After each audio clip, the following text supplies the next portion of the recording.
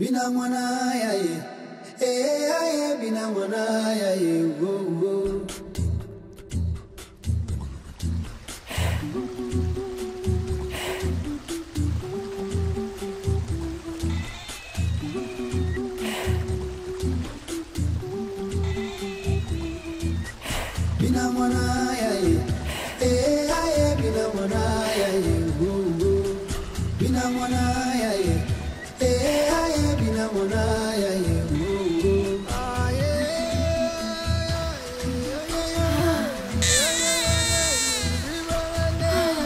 Umoja wawili. Hii ni mwangaza. Neema gani hii? Na watatu tutafanya mapasa timu. Maji na mapapo walitulinga leo, tayari katika utamaduni wetu. Mapasha wa nguvu kali,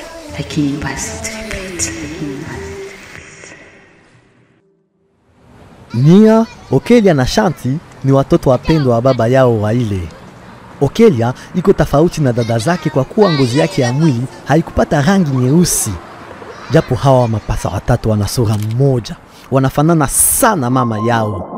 Siku moja walikuwa wanacheza kando, kisha wakajitupa wote watatu kulimoya ndani ya muto.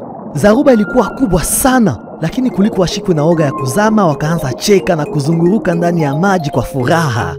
Ilikuwa muujiza kuona watoto wa miaka mbili tu wanajua kuogelea.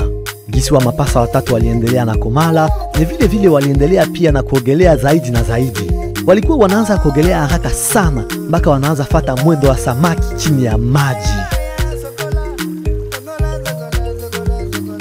Walikuwa hawawezi kula samaki wakati mama yao anaipiga, kwani samaki ndiyo nyama yao mpendwa. Walikuwa wanajua aina mingi kati yao. Mapasa Team. Ndiyo papa, Mkwihi. tunakuja. mito kubwa na ndogo vinaishiaka kukutanana na bahari, na samaki zinafanyaka safari za miezi mingi sana ili zifike kwenye ziwa na bahari. Alafu akaahidi wasichana wake watatu kwamba siku moja wataenda tembelea bahari. Baadaye Aile akapendekeza bibi yake waende ishi Moanda kando ya maji. Hapo wasichana wake wapendwa watakuwa na lala na kuamuka kando ya bahari, tena watakuwa na urahisi ya kuendekeza shauku yao ya maisha ya baharini. Twende Kabla ya kuondoka, tutakwenda kusema kwa heri kwa mmoja wa wapiganaji wa upinzani ambao Afrika inawajua, Mkongomani. Oh, ndio Patrice Lumumba upande wa échangeur.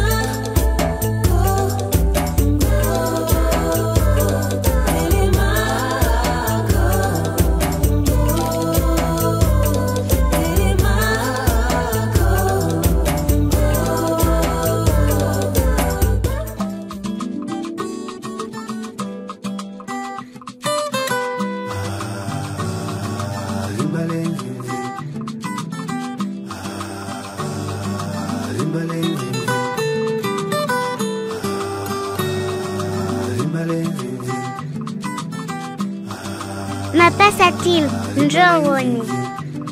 Unamuona soja wetu Malcolm X. E batate, batate, tazama pua yake ilipotoka hapo.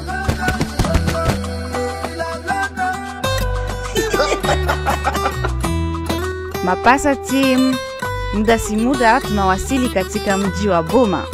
Haile, tazama binti zako wanavyolala ovyo.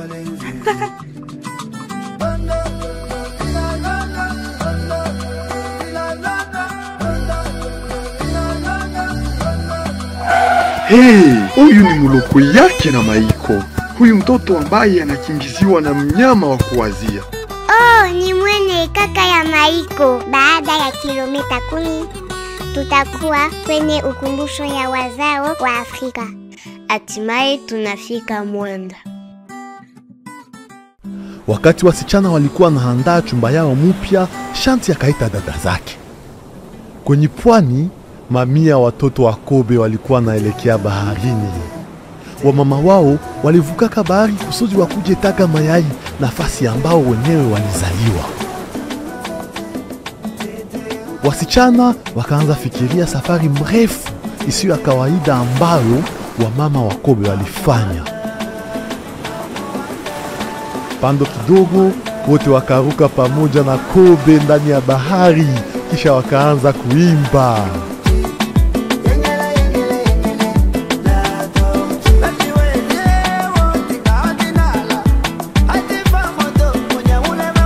Baba yao Waile alikuwa anatazama kwenye dirisha kubwa ya nyumba ambayo ilikuwa natoa mtazamo mzuri wa bahari. Wasichana wake watatu wako kama samaki ndani ya maji.